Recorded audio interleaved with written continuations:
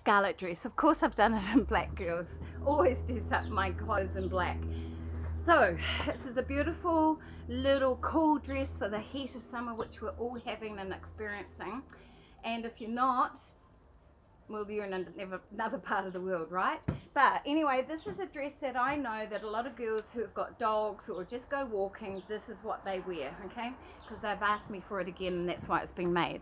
So it comes in small, medium, large, extra large.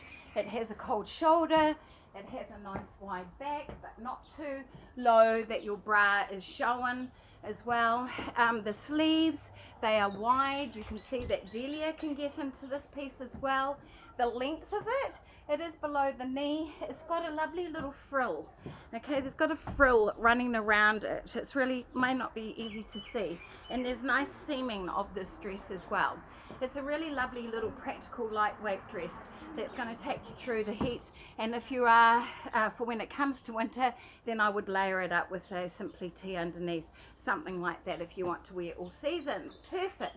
So anyway if you're walking dining just doing life beautifully this is the dress for you. I think so anyway. I've got my Vidaris bra on. It's the most comfortable bra girls. You really need to look at that. See you later